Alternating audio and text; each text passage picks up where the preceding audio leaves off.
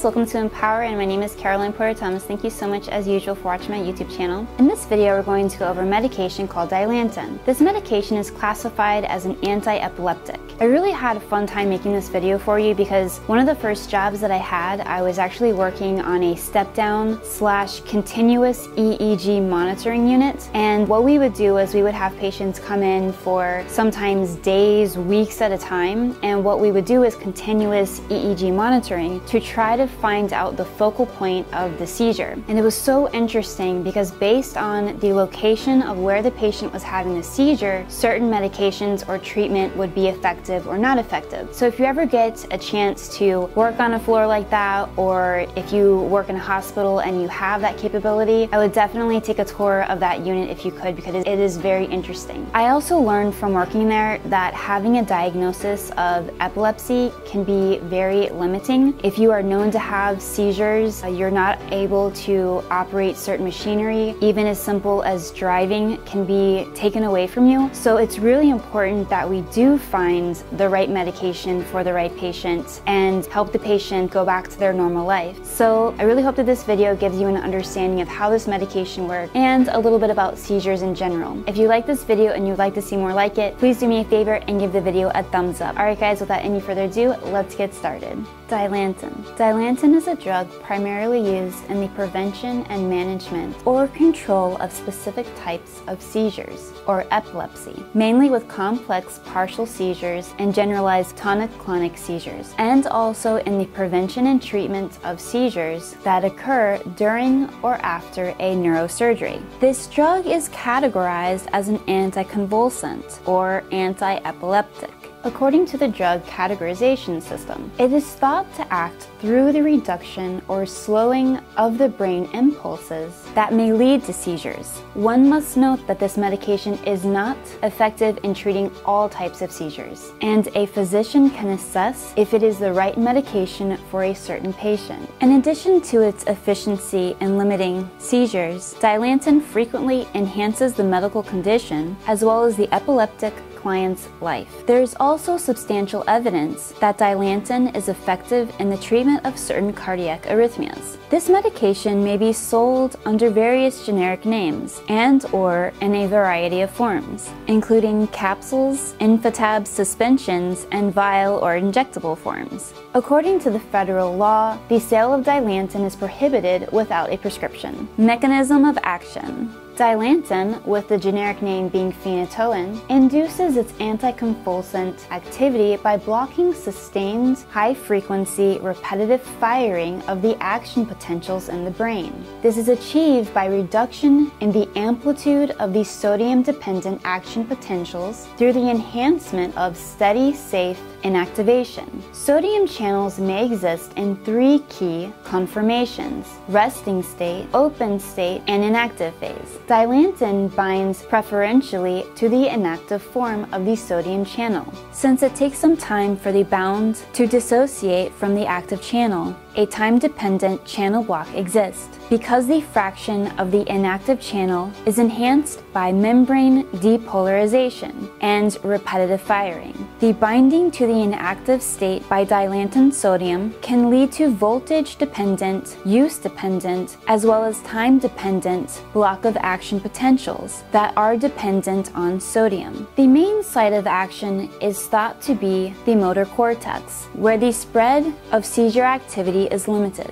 Dilantin tends to stabilize the threshold against hyperexcitability that may result from excessive stimulation or any change in the environment that have the tendency to reduce sodium gradient of the membrane. This includes a fall in post-tetanic potentiation at synapses that limits cortical seizure foci from detonating nearby cortical areas. Dilantin decrease the maximal activity of the brain stem center that leads to the tonic phase of the generalized tonic-clonic seizures. Contraindications. Contraindications for Dilantin. One should not take this medication in the following cases. Of course, an allergy to Dilantin or any of the ingredients of the drug, allergic to other medications that fall in the category of hydantoins such as fosphenytoin, ethotoin, and phenytoin, consuming delavirdine, as there are chances for loss of virologic response, and use of IV dilantin is contraindicated in clients that suffer bradycardia, SA block, second or third degree AV block, or Adams-Stokes syndrome. Precautions. Precautions to be taken prior to your patient consuming dilantin. Encourage your patient to share important information with their physician, as this may affect how the client may use the medication. Some of the important factors to be considered include history or presence of liver disease, as some clients have reported liver problems with the use of Dilantin, history or presence of diabetes, as medications that are used to reduce blood sugar of diabetic patients may develop drug reactions with Dilantin, history or development of blood conditions such as porphyria, which is a genetic enzyme disorder that leads to symptoms that affect the skin or nervous system, history or development of depression, mood-related disorders, or suicidal thoughts or behavior as some of the patients under anti-seizure medications may develop suicidal thoughts or behavior. Pregnancy. Dilantin is in pregnancy category D as there is potential risk of developing fetal hydantoin syndrome and fetal bleeding. However, optimal seizure control is critical during pregnancy and therefore the medication may be continued if the benefits are higher than the risk. Breastfeeding since dilantin passes through the breast milk that may affect the nutrition of the baby, and consumption of large amounts of alcohol. Adverse reaction. Dilantin may produce unwanted reactions, though most of the side effects do not occur very often and can be managed. However, these side effects can lead to serious complications when not reported by the client or medical advice is not taken.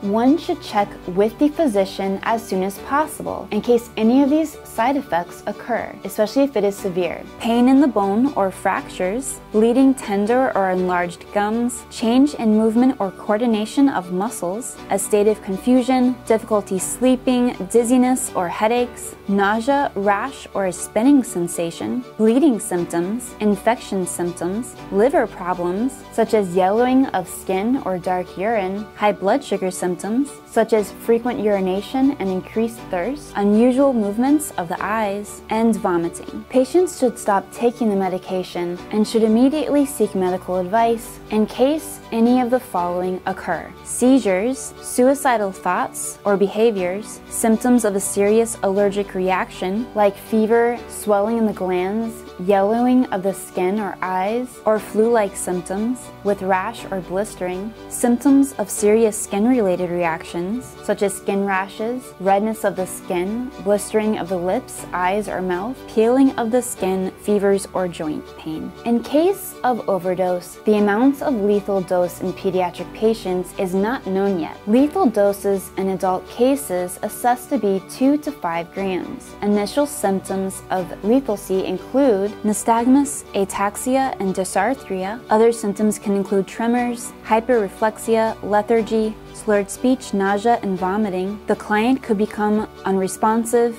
hypotensive, and even death may occur as a result of respiratory and circulatory depression. The treatment for overdose is nonspecific as no antidote is known. The optimal functioning of the respiratory and circulatory system should be carefully monitored, and relevant supportive measures should be used. Hemodialysis can be an option as dilantin or phenytoin is not completely attached to the plasma proteins. Total exchange transfusion has been employed in the treatment of cases of severe intoxication in pediatric clients. Drug interaction. Drug interactions may modify how medications work or elevate the risk of side effects. Phenytoin is an inducer of CYP3A4 and CYP2C19, families of the P450 enzyme, which plays a critical role in the breakdown of various drugs by the liver. Over a thousand drugs have been found to interact with dilantin, around 90 of them which have major drug interactions. About 900 of them are moderate. Studies have been established that antacids administered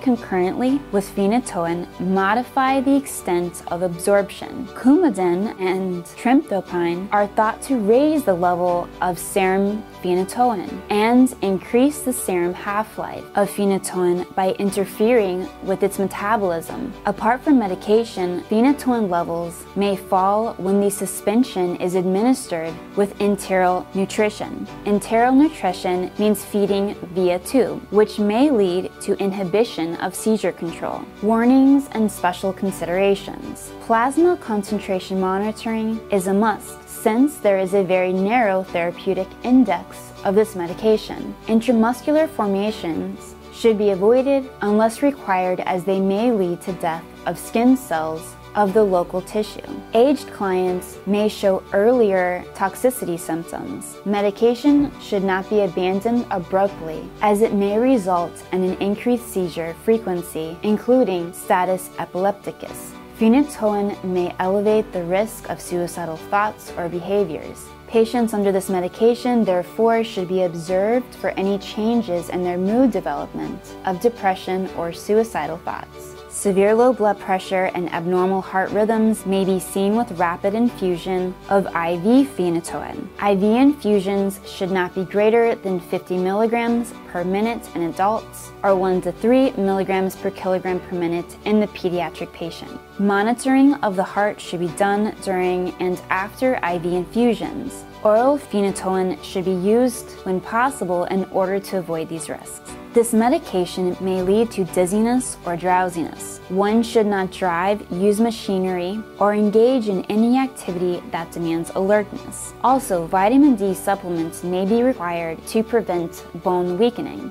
which is known as osteomalacia. The medication should be taken as prescribed by the physician. Parenteral dilantin should be used only in cases where oral administration of dilantin is not possible. In conclusion, dilantin is not not a new drug. It was first made in 1908 and became useful for treating patients with seizures in 1936. Basically, it is an anti-epileptic or anticonvulsant drug that works by slowing down the impulses in the brain, consequently causing many patients that have seizures to disappear. It is available as a generic medication and is usually not too expensive, costing most patients about $30 for a one month's supply. Alright guys, I really hope this video helps you out a lot in your nursing journey. Please remember to subscribe and also, if you have a video request, you can post your video request below. Like I mentioned in other other videos, we're taking all of our future videos exactly from the video request. So if you haven't seen your video yet, keep on posting it because the more I see it, then the more likely I am to create a video on it. But if you could, try to be a bit more specific. Um, a lot of people say that they would like to see videos on maternal newborn or pediatrics or pharmacology, and it's kind of difficult to create such a broad video, so if you could be specific, that would be helpful. Alright, again, if you don't mind, if this video did help you or if any of my videos have helped you, please give the video a thumbs up and I can always to see you in my next video. I love you so much. Bye.